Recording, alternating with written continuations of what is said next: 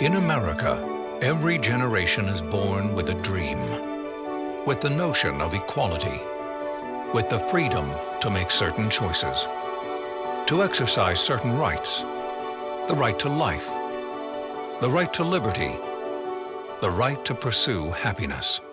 But it wasn't until Harlan Stonecipher was blindsided by a motor vehicle and hospitalized in 1969 that he realized it was money not rights, that gained you access to our legal system.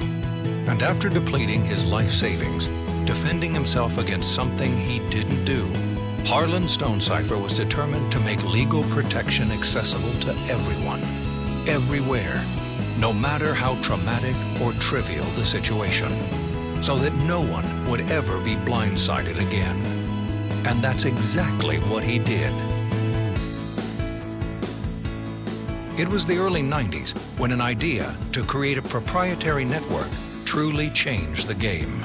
It meant that instead of hundreds of good attorneys serving hundreds of customers, now there was one dedicated law firm serving thousands of members.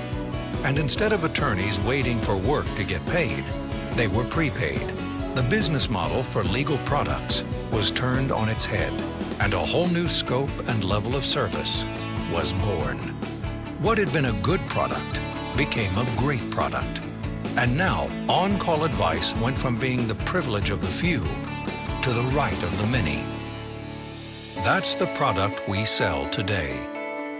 How good does it feel to be able to offer that kind of service to your friends, your neighbors, your community? Our product is something to be proud of it has stood the test of time. 40 years and 20 million times, our lawyers have been there to protect their clients, helping our 4 million users live their lives on their own terms. Our members fear nothing.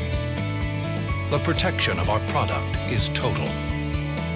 A shield that watches over them and their loved ones, protecting their rights their freedom, and their future. Everyone, everywhere, deserves to wake up with peace of mind, feeling protected every day, every night, now and forever, by our new company, LegalShield. Total access, total freedom.